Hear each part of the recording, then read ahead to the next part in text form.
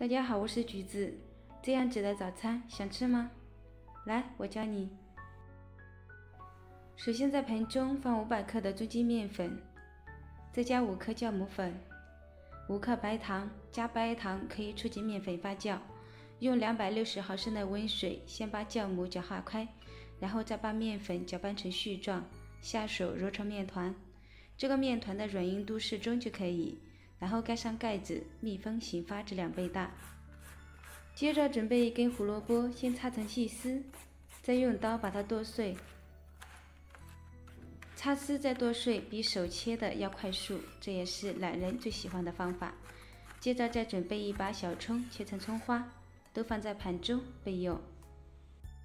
现在天气热了，温度也升高了，所以这个面团发酵的特别快。把面团放在案板上，反复的揉搓，排空里面的气体，再砍成长方形的大面片，上面刷上一层油，再撒上适量的食盐，然后把切好的胡萝卜丁和葱花撒在上面，从一边给它卷起来，卷成长条，用刀在中间一切两半，像这样就可以了。切口处朝上，把它卷起来。把两根全部卷在一起，卷成一个圆形，像这样就可以了。接着我们准备一把电饼铛或者平底锅，刷上一层油，把面胚放在里面，盖上盖子，再次醒发至两倍大。醒发的体积明显的变大，然后开中火先烙两分钟。两分钟之后，从边缘处倒下一些水。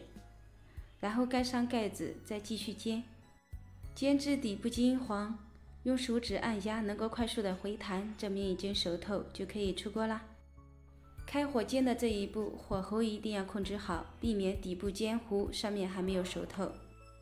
如果感觉上锅煎的这一步火候很难控制，也可以提前把它放进蒸锅中，大火蒸熟，然后再放进电饼铛中，给它煎至底部金黄，也是可以的。早上如果不想早起和发面，也可以头天晚上把面团和好，放进冰箱密封冷藏发酵，第二天早上做很方便，也节约早上的时间。这个做法比包子馅饼要简单，比油条要健康好吃。如果你喜欢，也试试做吧。我是橘子姐，喜欢我的视频就关注我吧。